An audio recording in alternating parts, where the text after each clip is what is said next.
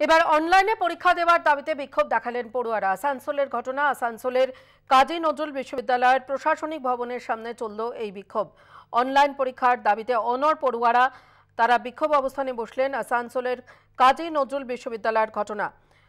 কাজী নজরুল বিশ্ববিদ্যালয়ের প্রশাসনিক ভবনের সামনে বিক্ষোভ দেখালেন পড়ুয়ারা।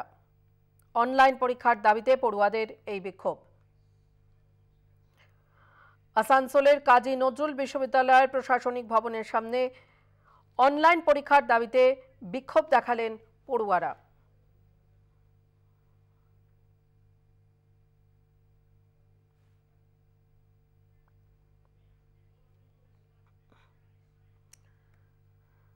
আমাদের প্রতিনিধি পবিত্র বন্দ্যোপাধ্যায়, এই মুহূর্তে আমাদের সঙ্গে টেলিফোন লাইনে। পবিত্র, অনলাইন পরীক্ষার দাবিতে পড়ুয়াদের এই বিক্ষোভ এখনও পর্যন্ত কি বিক্ষোভ চলছে?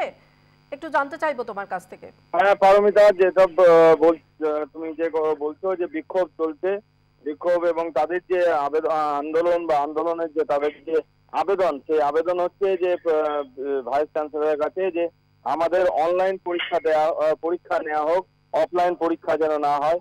এর পাশাপাশি অনলাইন আগে তারা যাদের যে, তাদের যে আরেক যে আন্দোলন, যে তাদের যাদের যে কোর্স, সেই কোর্স শেষ হয়নি।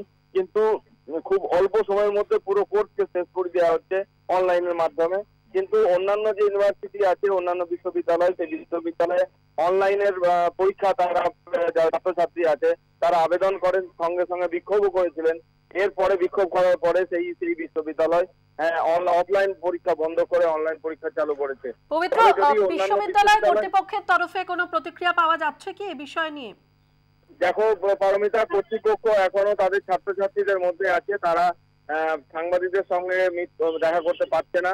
যেহেতু উত্তেজনা চরমে আছে ছাত্রছাত্রীরা এখন প্রায় গেট ধরে ইয়ে ভাঙা ভাঙে গেট না, ইয়ের পরে গেট ভেঙে ফেলেছে ছাত্রছাত্রীদের বিক্ষোভের। এতটাই তাদের সীমা, বিক্ষোভের সীমা চরমে উঠেছে।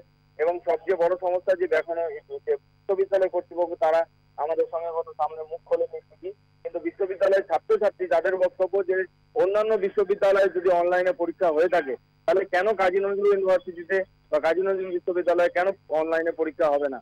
তাদের এই বক্তব্য, এর পাশাপাশি তাদের যে বক্তব্য যে তাদের যে কোর্স তাদের যে কোর্সের যে সময়সীমা, সেই সময় খুব অল্প সময়ের মধ্যে দিনে সবকিছু শেষ করে দেওয়া হচ্ছে। আবার কিছু কিছু সাবজেক্ট তাদের শেষ হয়নি, কিন্তু তাদের পরীক্ষার ডেট পড়ে করে দেওয়া হয়েছে।